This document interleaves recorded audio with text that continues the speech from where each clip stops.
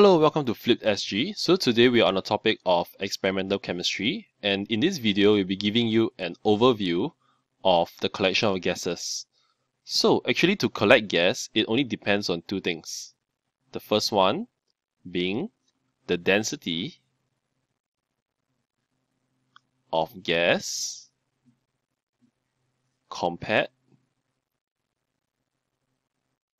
to air. Okay, so what do I mean by this? So imagine we have a test tube, a downward facing test tube, and there are two layers in it.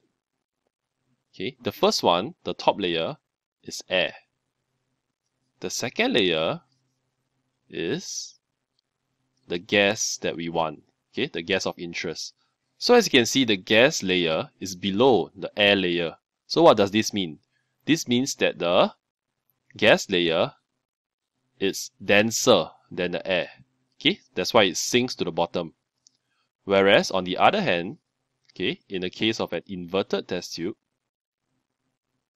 with two layers as well, so this this layer, the top layer, okay, this layer is our gas, whereas the bottom layer is air.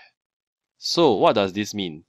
This means that the top layer, okay, it's less dense than the air layer and hence it's able to float above the air layer and remain there. Okay, so this is the this is the definition of density, whether it sinks or floats.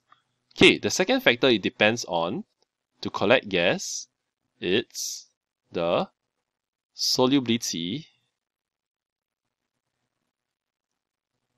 in water. So it's really just how soluble, how well our gas is able to dissolve in water. Okay, and using these two physical properties of the gas, we will we will be able to determine how how to collect the gas. Okay, so let me give you a rough mind map of how to collect the gas. So this is the gas that we want to collect. Okay, we have to ask ourselves first whether is it soluble or insoluble? So in a case that it's insoluble, okay, there's only one way to collect it, and that is displacement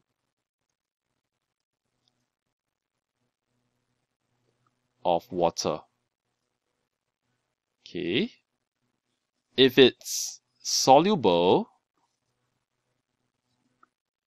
if the gas that we want is soluble, in water, okay, then we will have to split it into two more routes.